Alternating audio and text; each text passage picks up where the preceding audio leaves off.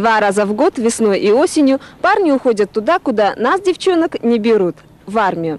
Кто-то к этому готов, кто-то все еще раздумывает, нужна ему армия или нет. Это и понятно. Сегодня об армии можно услышать самые противоречивые мнения. Но кто же прав? Думаю, что лучше всего этот вопрос задать ребятам, для которых эти два года уже позади. Олег Полынцев, старшина милиции батальона патрульно-постовой службы. Если вам неизвестно, что такое ППС, объясню – Именно эта служба призвана следить за порядком в городе. И если вдруг вам придется набрать по телефону две цифры 02, то первыми на ваш вызов ответит патрульно-постовая служба.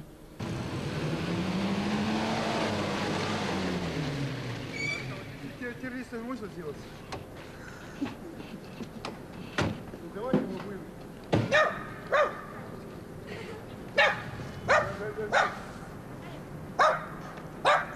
Олег, скажи, почему ты сегодня работаешь в милиции?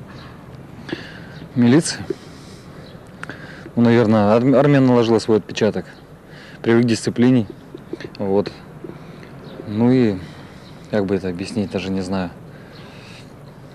То есть до службы в армии ты не думал, что станешь милиционером? Нет, не думал. Но после армии, отслужив, когда послужил в армии, пошел на гражданскую работу, понял, что гражданская работа и сама вот этот завод, и все это как-то не для меня. Обратно вернуться в часть уже не хотел, потому что здесь стала семья, в общем. И пошел туда, как по зову сердца, скажем так, пошел. Еще одна не менее важная структура в нашем городе, где требуется сила, мужество, умение быстро ориентироваться и, конечно, дисциплина. Это пожарная охрана. Именно сюда после службы в армии пришли работать Олег Заседко и Андрей Валентин. В то время, когда я э, устраивался сюда на работу, тогда без армии сюда не брали.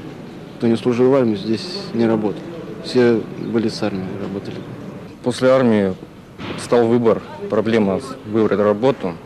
Ну, предложили пойти в пожарную охрану, тем более, что у меня работал здесь дед, дядя работает в данное время, брат, ну, наследственный как. Ну, поработал, понравилось здесь. Получается, армия, в общем-то, определила твою будущую жизнь? Ну да, я мечтал, в принципе, попасть в силовые структуры. Вот с помощью таких ребят мы и попытаемся выяснить, какая она армия сегодня. Тебе было 18 лет. Еще э, вот среди сверстников тогда какие у вас э, разговоры шли об армии? Ну, конечно, многие не хотели идти. Не то, что многие, почти все не хотели идти. Ну, воспитание, конечно, в моей семье было такое, что я с детства вырос в патриотизме. И родители всегда говорили, что пойдешь в морфлот. Отец говорил, на Северный полюс он пойдет. Как можно дальше служить, чтобы были суровые условия, чтобы армия сделала из него человека. И поэтому я почти самый первый из нашего там класса, из нашего призыва побежал на призывной и чуть ли не самый вперед всех записался и помчался в армию служить. Радости такой и горечи не было, в принципе. Как бы не боязнь была, а вот незнание, что там будет дальше. Но в армию все равно нужно было сходить. Это школа мужества. После того, как были такие пышные проводины с баянами и с музыкой, и славянкой напоследок, что после меня, короче, многие мне позавидовали таким проводинам, и многие тоже собрались и пошли служить. Но, правда, уже следующим призывом, чуть попозже.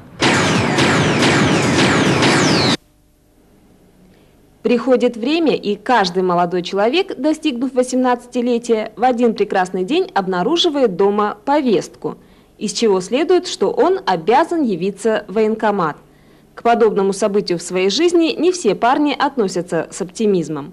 Начался новый воинский призыв. По сравнению с предыдущим годом э, какие-то проблемы появились или нет?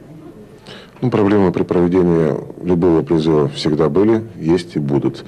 Ну, я считаю, что этот осенний призыв проходит по сравнению с предыдущими призывами, в частности с осенними призывами, немного тяжелее. Э, Становится больше количество граждан, которые по состоянию здоровья становятся негодными к службе в армии. Сегодня во многих юных умах устоялось выражение «Армия – это хорошая школа, но лучше ее пройти заочно». Так говорят и так пытаются сделать. Особенно это хорошо заметно в военкомате во время медицинского осмотра. Подлежит вызову на призывную комиссию э, более полутора тысяч человек. А призывать реально на военную службу мы сможем, наверное, менее 10%. А причин тут несколько. Одна часть призывников по личным обстоятельствам получает право на отсрочку. Другая часть отсеивается по состоянию здоровья, которое, особенно за последнее время, резко ухудшилось. А бывает, что парни, стремясь уклониться от службы в армии, просто придумывают себе такие болезни, что врачи диву даются. Например, разными способами занижают себе давление или говорят, что страдают психоневрологическими расстройствами, при этом абсолютно не задумываясь о последствиях. Есть определенные меры, которые мы можем принять по отношению к этим призывникам. Это и привлечение и к административной ответственности, и уже как э, крайняя мера, это привлечение их к уголовной ответственности за уклонение от призыва. И в частности, за весенний призыв у нас давно такого не было. У нас было четыре случая привлечения граждан к уголовной ответственности.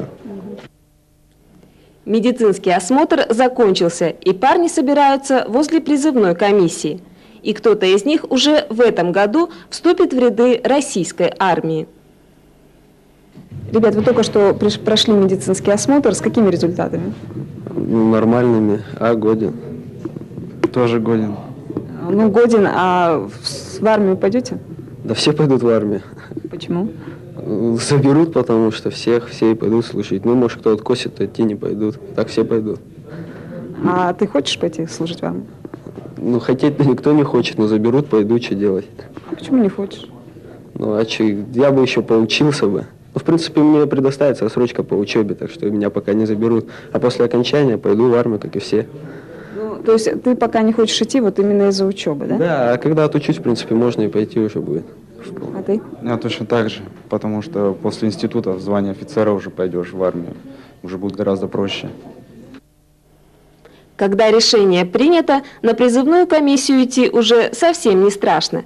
И наоборот, если вы все еще сомневаетесь. В таком случае помните, что призывной возраст длится до 27 лет. Держите ваше направление. В настоящий момент вы подлежите призыву. Если принесете акт и будут там какие-то изменения, мы тогда свое решение отменим. Команда 220, внутренние войска, Министерство внутренних дел. 21, 21 октября нам на контрольную явку. 18 числа несете всю эту беду. Ясненько? Ясненько. Все, успехов вам. Федор,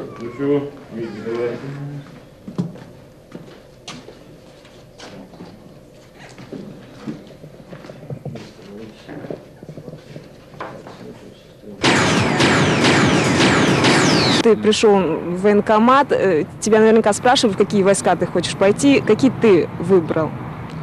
Честно ответить на этот вопрос? Конечно, я хотел идти во флот, потому что у меня семья так, это отец служил во флоте, мать имела некоторое отношение к флоту, и я сам хотел идти во флот. Не пугало, что там три года было как раз. Вот, и рвался во флот, и по приказу вроде как шел в торговый флот в Анапу. Заполнил все документы, но потом как раз время такое было толком не разбериха все, и на пересыльном пункте меня все поменяли, попеременяли, и пришлось служить куда послали. А послали меня в князе Волконку на наводчик-оператора БМП-2. Оттуда, в общем, за хорошее поведение там и за все мои заслуги отправили в Краснодар учиться, на Северный Кавказ как раз туда. Там правительственные связи, правительственные войска, охрана президента. Я выбрал погранвойска. Почему? Хотел туда попасть, посмотреть, как живут на заставе.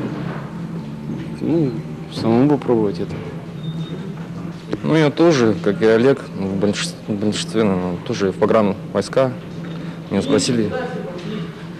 А попал в Хабаровск, в МВД. служил. Сегодня многие ребята мечтают пойти именно в элитные войска, например, ВДВ, спецназ, э, вот, а почему-то не очень хотят идти, ну, в пехоту, в артиллерию. Понятно. Понятно. Вот это мне, кстати, да, тоже в армии не спорю. Вот то, что когда я смотрю, когда на улицах солдаты меняют рельсы, асфальт ложат, это не для этого солдат идет служить в армию. Если солдат идет в армию, он должен учиться каким-то военным наукам, стратегии, правильно? Вот. Но я думаю, что все-таки надо с оптимизмом смотреть на будущее.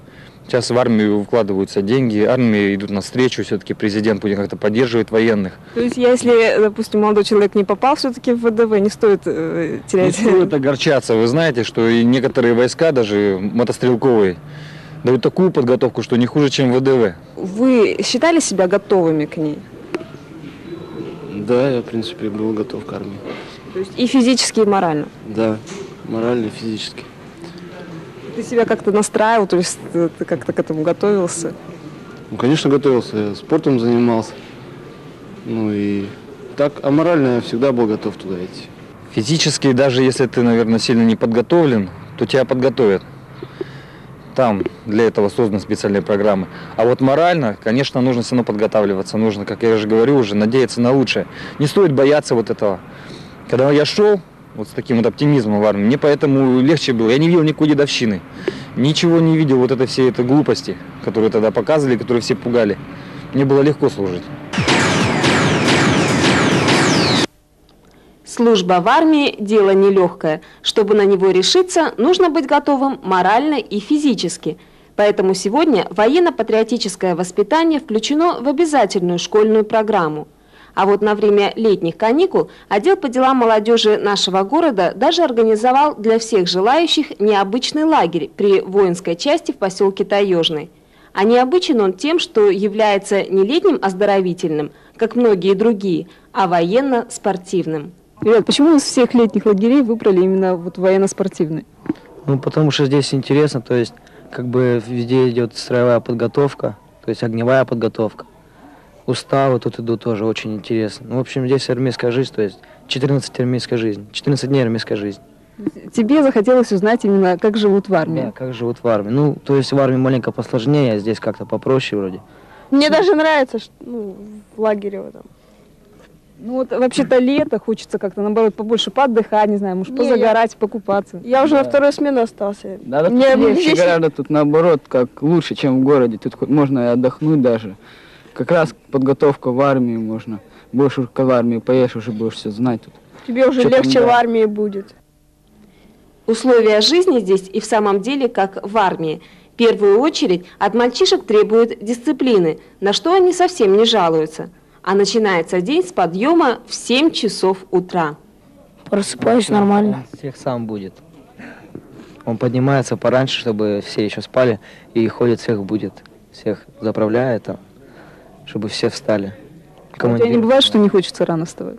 Бывает, когда со смены. Когда ночью, например, э, в наряде, то утром ну, как бы тяжко, тяжко вставать и не хочется. Можно, ну, хочется поспать подольше. Что делаешь, пересиливаешь себя как-то или что? Ну, пересилишь, но потом-то можно все-таки поспать. Нам разрешают после наряда.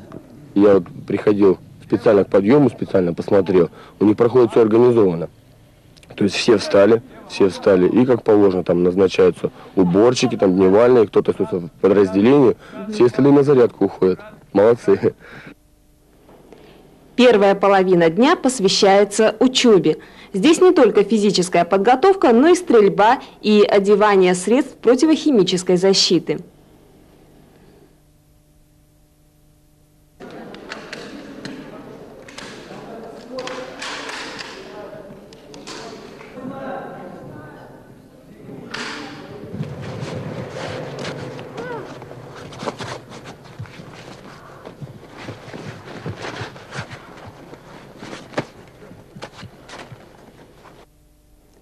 И в казарме царит чисто армейский порядок на протяжении всего дня. За этим следят дневальные. Товарищ начальник, за время вашего отсутствия никаких происшествий не было. Вальма.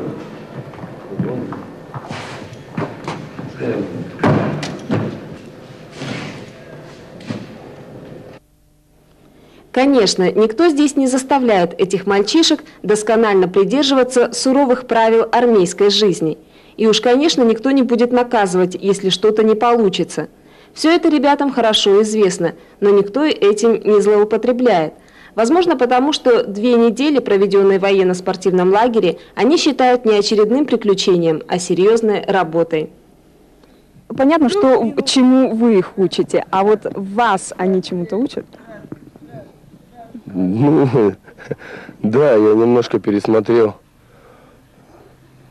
свое отношение к обучению. Ну, Не то, что личного состава, это тоже личный состав, только более молодой. Потому что основная эта задача это, это обучать и воспитывать, готовить защитников Отечества настоящим образом. То есть учиться военному делу. Учиться военному делу. Тут, может быть, даются, конечно, самые элементарные основы, но я думаю, они, они, они должны помочь им в будущем. Все равно рано или поздно придется столкнуться. ну. Потому что у нас, да, непонятно сейчас, какая политика вообще в стране, но все же мы мужчины должны защищать нашу родину. Должны быть готовы, по крайней мере, в нужное время взять оружие, пойти, куда скажут, куда прикажут. Все пытаются как-то уклониться от армии, то есть мне вообще без разницы. Если меня призовут в армию, то я пойду. Если не призовут, если я не буду годен, то я не пойду. То есть как уже получится. Если, если призовут, то я пойду. Я слышала, что многие здесь э, вот после этого лагеря у вас хотят даже поступать какие-то военные училища. Есть такие?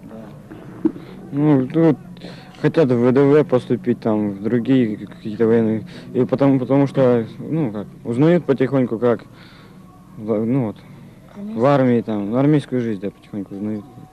Раз, раз, раз, два, три. Падение шеренгах. Раз, два, три. Вот. Хорошо. Сколько за два года яблоня цветет, Сколько будет песен перепета. Может, выйдешь замуж, а может, подождешь Эти две весны два долгих лета. Учат нас врага, любого побеждать, Солдатский долг священно выполняя, Чтобы ты смогла спокойно ночью спать. Мы стараемся э, военно-патриотическое воспитание в нашем районе поставить на э, более высокий уровень. Ну, к этому нас подталкивает и глава администрации района. Но мы сами понимаем, что без э, подготовки, должной подготовки в школе невозможно сейчас говорить о каком-либо патриотическом воспитании вообще, в частности по гражданской обороне, чрезвычайным ситуациям. Тем более, что э, к этому нас направляет и ну, ситуация в мире, в стране в целом. Сегодня военно-патриотическое воспитание включено в обязательную школьную программу и занимаются этим в первую очередь на уроке основы безопасности жизнедеятельности. Но это все теория. А как насчет практики? Когда попадаешь в экстремальную ситуацию, времени на то, чтобы подумать, практически нет. Здесь, как говорится, каждая секунда на счету. Но если ты прошел школу безопасности, то сможешь выжить в любых условиях. В течение двух дней школьники Комсомольского района проходили школу безопасности в селе Верхняя Эконь. Но главным номером в общей программе стала для них полоса выживания. Задание номер один – надевание химзащитного костюма. Конечно, каждая из восьми команд мечтает о победе. Каждая считает, что у них получится лучше. Что ж, уверенность в себе – тоже необходимое качество выживания. Ребят, вы здесь стояли так, улыбались, когда ребята одевали эти костюмы. Вам же тоже придется это скоро сделать. Да, конечно. Вы готовы? Да. Уверены? Мы тренировались Вполне. день. Да. Мы еще тренировались полвечера одеть эти противогазы, там, костюмы, специально для этого случая, чтобы показать лучшее время на этом соревнованиях. Чтобы выиграть. Как вы считаете, вот у этой команды какие-то ошибки были? Были. Конечно, вообще много ошибок. Мы будем, новый мир лучше всех, мы будем вперед всех пойдем. И вот сейчас мы с вами имеем возможность наблюдать, как с данным заданием справляется команда поселка Новый мир. Ты первый раз одела противогаз? Первый раз. Ну и как ощущение? Классно вообще, как в танке. А теперь бегом до следующего этапа соревнований.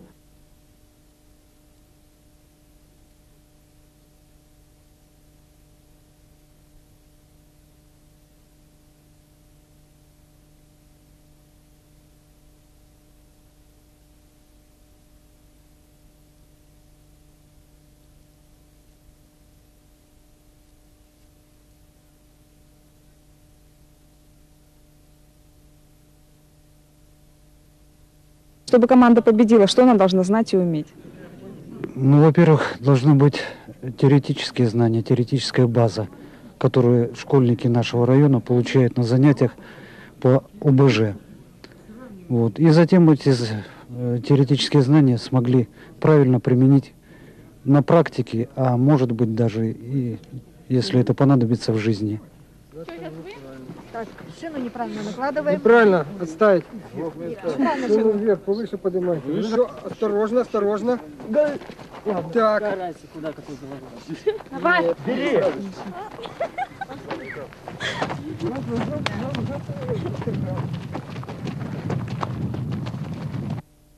А сейчас ребятам предстоит настоящая борьба с очагом возгорания. Ну как, ребят, готовы? Да. Готовы. Как думаете, кто победит? Мы. Мы. Мы это кто? Наша команда. команда. А почему вы? А потому что мы сильные. Обжимать плотнее.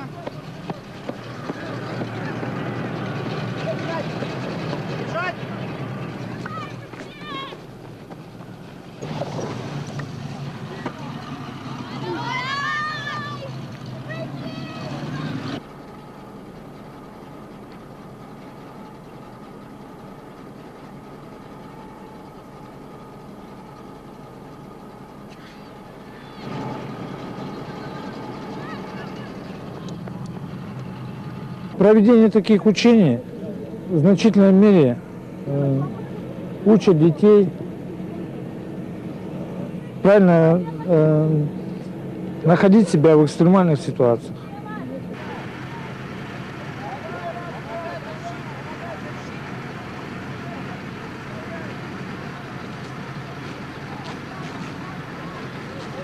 Ребят, как вам этот этап соревнований? Ништяк, хорошо, понравилось. Хорошо, понравилось. А что понравилось? Как тушить, бегать. Чтобы, чтобы быстрее успеть, как-то охота. Да, ништяк, все прошло. Почаще бы устраивать такие соревнования. Выезжали бы почаще бы. Чему вы здесь научились? Самообороне как-то, вот, например, вот даже при пожаре будет, даже можем уже сами, аз- ну, как самооборону сделать. Ну, там, потушить, там, или еще что-нибудь. Как себя вести при чрезвычайных ситуациях?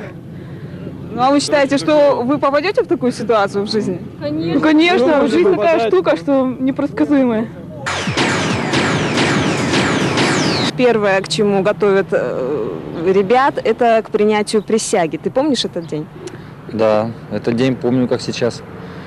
Этот, как я уже говорил, что в каждом человеке, в каждом мужчине воин, защитник ну, внутри находится. И он по сути своей необходимо, чтобы когда, когда вот целуешь знамя, когда присягаешь от души, когда ты говоришь эти слова, в тебе просыпается защитник Отечества.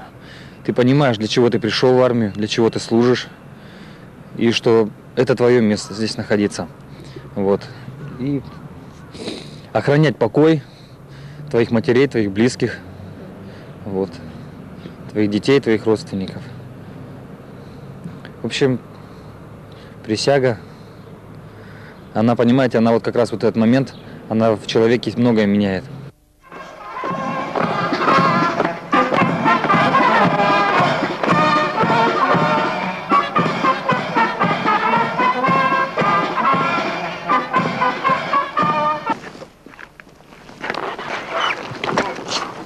Чекунов Леонид Владимирович, торжественно присягаю на верность своей родине Российской Федерации. Клянусь свято соблюдать Конституцию и законы, строго выполнять требования воинских уставов. Много говорят о жестокости в отношениях, вот именно в армии. Ты сталкивался с жестокостью? С жестокостью в отношении в армии, честно, да? Жестокость есть, но некоторая жестокость в армии даже необходима. Допустим, суровые, порой тяжелое выполнение приказа, суровые испытания там ложатся на долю солдата, они просто необходимы, они закаливают тебе человека, понимаете? Чтобы тебе потом было легче переносить тягости службы. Чтобы, если на самом деле вдруг коснется, что придется тебе участвовать в военных действиях, чтобы тебе было легче это перенести, чтобы ты был более подготовлен, чтобы ты не растерялся там в горах Кавказа или под звук канонады артиллерии. То есть не зря говорят, что тяжело в учении, легко в бою. Правильно, да, Суворов правильно сказал. Что бы ни говорили и не думали по поводу службы в армии, но нельзя отрицать тот факт, что военных ценили и уважали во все времена. А в тяжелое время именно к ним в первую очередь обращались за помощью. Я имею в виду не только войну. Взять хотя бы наш город Комсомольск на Амуре. Всем известно, какую огромную роль в строительстве всех промышленных предприятий города сыграли военные строители. Именно они в 1934 и 1936 годах совершили героические ледовые переходы. Помощь более 17 тысяч человек оказалась настолько весомой, что в память об этих событиях в нашем городе недавно был открыт новый памятник, созданный скульпторами Надеждой Ивлевой и Сергеем Николиным. И я думаю, это признание комсомольчан и всего города перед э, теми э, трудовыми подвигами, которые совершили военные строительства, э, военные строители при переходе э, 1934 году, ледовом переходе. Я думаю, это будет э, способствовать военно-патриотическому воспитанию молодежи. Ну и, соответственно, это дана оценка результатов труда наших э, первостроителей, которые принимали участие, соответственно, в строительстве нашего города.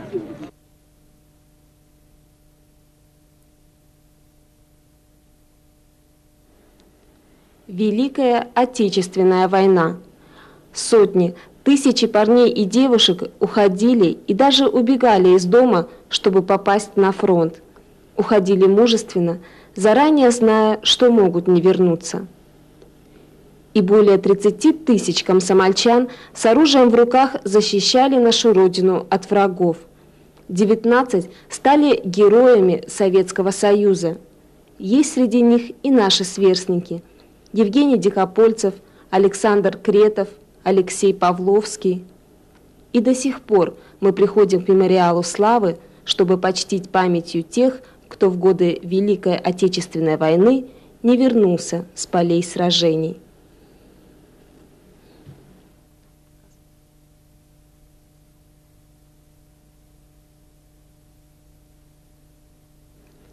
Самоотверженные воинские традиции продолжаются и сегодня. Многие комсомольчане стали участниками локальных войн. Причем речь здесь идет не только о тех, кто едет в горячие точки по контракту. За последние 8 лет, начиная с 1994 года, более 170 призывников по собственному желанию прошли службу на Северном Кавказе – из них 30 вернулись с такими наградами, как Орден Мужества, медаль за отвагу, за воинскую доблесть. У каждого своя дорога. Каждый выбирает сам. Выбрали трудную дорогу. Но главный смысл заключается в чем? Едете туда, вот, туда едете.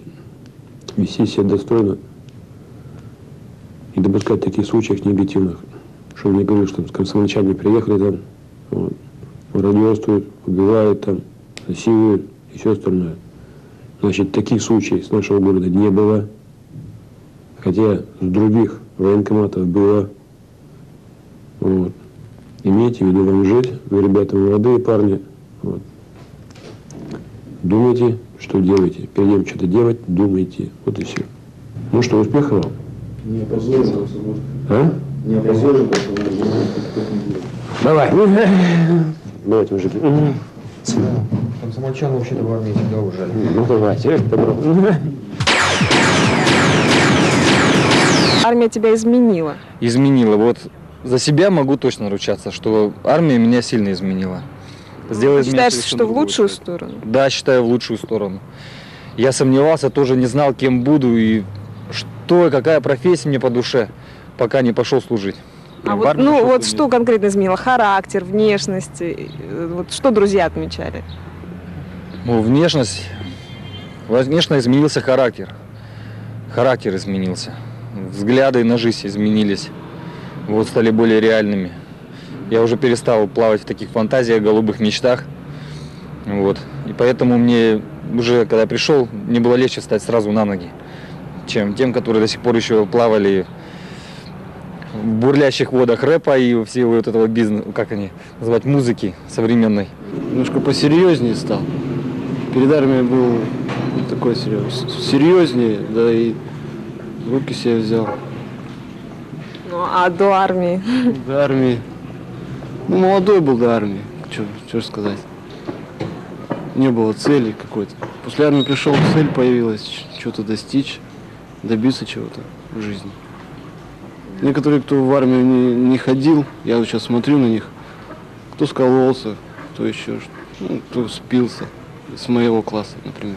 Кто желает пройти, себя показать, испытать, тому нужно сходить, конечно, в армию, пройти эту школу. Что вам сказать, ребята? Хочешь изменить себя, если в лучшую сторону? Сходи, не пожалеешь. Не хочешь меняться, хочешь оставаться таким, как есть? Коси, но потом будет, наверное, все равно стыдно и завидно тем, которые сходили. Лучше служить и спать спокойно.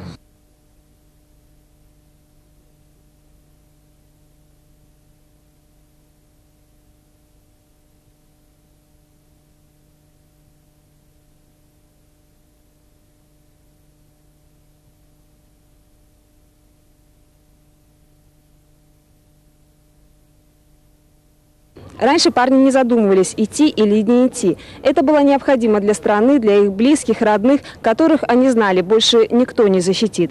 Сегодня молодые люди хотят, чтобы им предоставили право выбирать. Они боятся впустую потратить два года, боятся за себя, но ведь многое будет зависеть только от вас. Проще говоря, армия – один из лучших способов проверить свой характер. И не только свой. Я тебя дождусь,